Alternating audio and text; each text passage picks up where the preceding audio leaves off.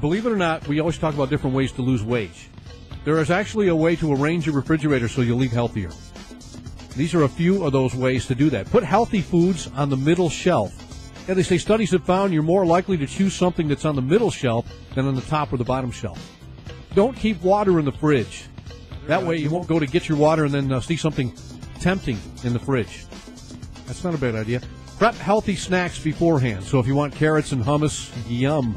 Cut up a single serving of carrots. I like carrots. And put them right on top of the hummus. I don't like hummus, but some people do. Now put unhealthy snacks in containers that aren't see-through. If you don't see them when you open the fridge, you're less likely to eat it.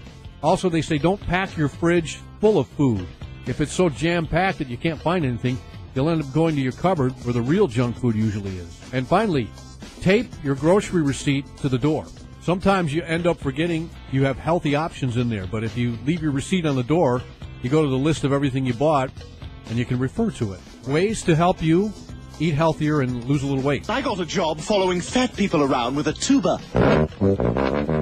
Stop it!